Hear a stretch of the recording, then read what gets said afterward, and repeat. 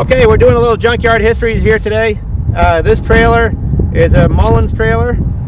They're made in Salem, Ohio. Uh, William Mullins was the guy that started the company. He started in the 1890s uh, making different types of pressed metal parts. In the early 1900s, he made stamped aluminum body panels for Peerless and Franklin and other manufacturers for automobiles. Um, they made approximately 2,000 of these. This one has a serial number that's right under here, 2298.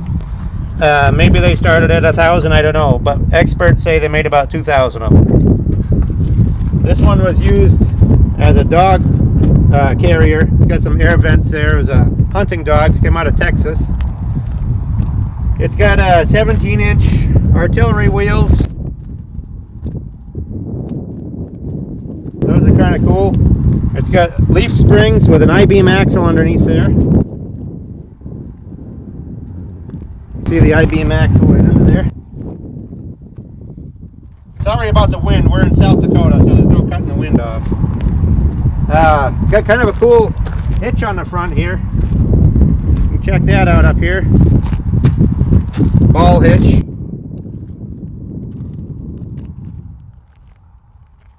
We'll show you inside here. Got a steel top. Kind of a, almost like a pickup box material. Got a steel floor with these spring-loaded arms that fold up to hold the lid. Here's one of the original hubcaps, Mullins all steel. That's the original tail light. These here are, uh, these go on here. They're the latch hold downs. These are the same as a 35 or 36 Ford sedan. Uses the same latch. These trailers are all steel. The only modern ones you can get is a fiberglass reproduction of this. So if you want the real deal, you got to find an old one made out of steel. And uh, this trailer cost a little over a hundred dollars when it was new. We got a little toy one here too. We'll show you. That's a little Studebaker promo. And that's the little Mullins trailer there. This is cast iron. And you can see it says red cap. Red cap on the top. So this was a Mullins red cap trailer. The reason it was called a red cap was because of the uh, the porters at the railroad stations would wear red caps so they'd stand out from the crowd. And that's where they got the name Red Cap Mullins Trailer. They made these from 1936 to 1938. Uh, here again, made in Salem, Ohio. It's the only all-steel two-wheel trailer at the time.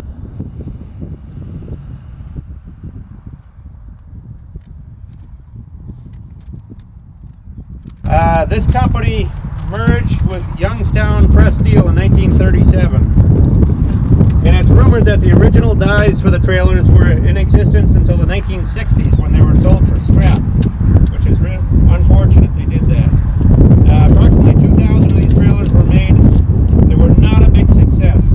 Okay, so the, file, the company filed for bankruptcy in 1974, years later, and was bought up by American Standard in 1975 and that was kind of the end of the history of that trailer but you know we just think it's a really cool old trailer and that uh, you guys would appreciate seeing a little history on it okay so now we're going to pop up some pictures uh, and we can tell you a little more history in better detail of why this trailer was revolutionary for its time and uh, hopefully we can you know, we can both learn a little more history on this trailer from the pictures. Okay, we've done a little extra research and we're going to share some of this stuff with you. Um, some of it is from the time that they made the trailers and some of it is predating that, showing you the company early on in their early days. Uh, we're going to show you some receipts here of what the trailers cost when they were new. We'll also show you, this is the uh, Salem Ohio manufacturing building where they made these trailers. And here are some current uh, day, you know, when they used these trailers, when they were manufactured pictures of people towing them with different cars and such. Uh, also, we're going to give you a little early history here. This starts in 1872. The company was called Kittredge, Clark and Company, and they made metal building ornaments that would go up on the top of commercial buildings mostly. In 1882, W.H. Mullins purchased this company and renamed it to W.H. Mullins. Uh, they expanded to weather vanes, car parts, metal statues, and uh, metal boats and motors also. In 1892, for the uh, World's Fair Columbian Exposition in Chicago, they made a 18 foot statue called Diana. And uh, that was placed atop a building at the World's Fair. Later, they would go on to use that Diana statue as a logo on their Youngstown kitchen cabinets, which we'll show you here. And they also made another famous statue that is in New Ulm, Minnesota, atop a building. It's uh, the statue Herman or Arminius. Uh, they also made a Diana II statue, which you can see here on top of the Madison Square Garden, which stayed there until 1925 when they demolished that building. And later on, after they made the trailers in the late 30s, in 1940, they started to make porcelain steel kitchen cabinets called the Youngstown line. And they postponed for World War II, made some uh, war effort items.